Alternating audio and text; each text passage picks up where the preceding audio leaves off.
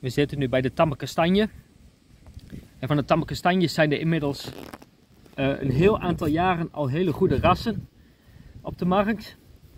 Zoals in uh, Italië, Frankrijk en een beetje de warmere landen. Daar zijn ze al veel meer uh, gewend om met kastanje bezig te zijn. Tamme kastanje dan in dit geval.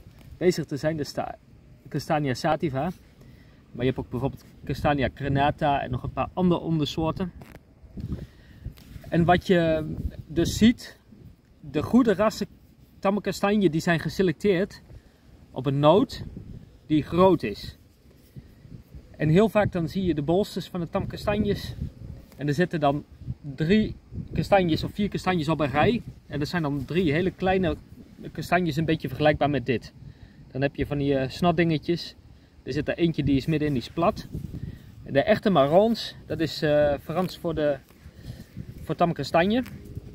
Eh, zo, zo worden ze ook genoemd. En de echte goede marrons, die hebben maar één noot per bolster. Kijk, dit zijn de bolsters. Ze zijn uh, prikkelig. Ze zijn, je kunt ze gewoon wel fatsoenlijk zo pakken, maar dit is net een egeltje. Het zijn allemaal hele fijne doorntjes. En normaal gesproken dan vallen ze gewoon prima met bossen en al uit de boom. En dan valt de kastanje er eigenlijk meestal eerst uit.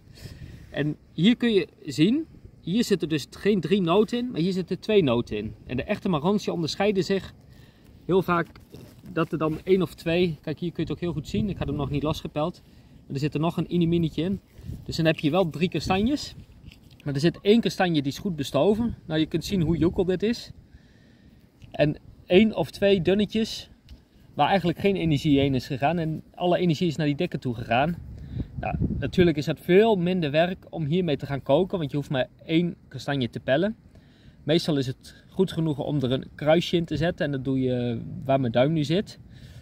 En dan ga je hem poffen in de oven bijvoorbeeld, maar je kunt ze ook gewoon prima stoven en daarna verder wegpellen. En die marrons die zijn dus veel groter, de goede selecties, als de kleine rassen. Of de zeilingen moet ik eigenlijk zeggen, want hier heb je het voorbeeld. Dit is een, een goede.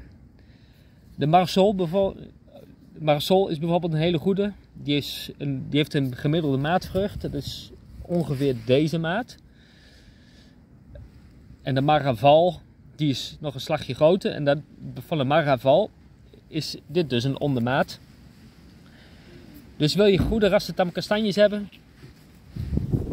of eigenlijk wil je goede kastanjes hebben, kies dan goede rassen. Want goede rassen, die geven dus per bolster misschien minder noten, maar je hebt echt een kwalitatief goede noot. Waar je echt heerlijk mee kunt gaan koken. Kijk, hier heb je hem ook weer. Ik heb nu even geen, geen voorbeeld van de boom, want daar sta ik nu even niet bij. Maar hier heb je dus een lege en je hebt eentje die is goed gevuld. Dus je hebt veel minder werk ook met rapen. Je hebt veel minder werk met, uh, met het schoonmaken. Want uiteindelijk zit er ook bijvoorbeeld, als je ze vers wil eten, er zit er een, een schilletje. Als je, de, laat me zeggen, dit vel eraf hebt, ja, hoe moet ik het eigenlijk noemen? De, de buitenste, buitenste schil, als je die eraf hebt, daaronder zit nog een heel fijn, fijn velletje. En dat velletje die is vaak bitter als je ze vers wil eten. Dus heb je heel veel kleintjes, ja, dan ben je veel langer bezig voordat je überhaupt een paar kastanjes uh, lekker kunt eten. Vers vinden we ze zelf persoonlijk heel lekker. Het, het, het heeft iets zoets. Maar ja, gepoft is heerlijk. Uh, we hebben het al eerder uh, gedaan met kersen en een bepaalde liqueur. Dat gaf ook een heel, ja, en chocolade trouwens. Dat geeft een echt uitstekende ehm, smaak, vooral als dessert. Maar je kunt ze ook als vervanger van aardappel of brood gaan eten. Dus de goede rassen, je hebt er minder werk mee. En de meeste goede rassen die zijn ook geselecteerd op de kastanjekanker. Dus een kanker die rondwaart bij kastanjeplantages. Nou, en dan valt de een naar de andere kastanjeboom die valt weg. En er zijn vaak weer die monoculturen. Maar ook in ons land hoor je af en toe dat, uh, dat wat doftofteren bijvoorbeeld aangetast worden. Nou, de goede rassen die zijn in principe resistent tegen deze schimmels en kankers. En daarom is het des te meer reden om die goede hybrides ook aan te gaan planten. En natuurlijk kun je gewoon ook zeilingen zetten. Een zeiling die, die kan ook uiteindelijk goede kastanjes geven. Maar wil je echt zeker weten dat je goede rassen hebt, goede kastanjes dus uiteindelijk aan je planten hebt, kies dan de goede rassen. En heb je heel veel ruimte, ja, zet dan gewoon lekker een paar zeilingen bij. Dus wie weet, over een paar jaar kunnen jullie je eigen eerste kastanjes oogsten van onze geënte boompjes. Onze geënte boompjes die zijn overigens tijdens het opkweken dat we ze hebben staan niet bespoten. We geven ook geen kunstmest. We, ja, we doen het eigenlijk op ecologische wijze. We mulchen heel veel en die mulch die komt weer terug in de bodem. Dat wordt vooral door worm omgezet. Dus je hebt heel weinig nutriënten wat verloren gaat.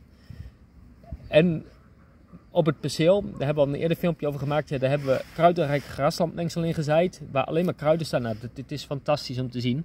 Dus we gaan van een monocultuur naar een multicultuur. En die multicultuur, daar bedoel ik meer de biodiversiteit, die gaat omhoog. Je lokt allerlei andere dieren. Het is echt mooi om te zien hoe die schepping bedoeld is. Eet smakelijk alvast.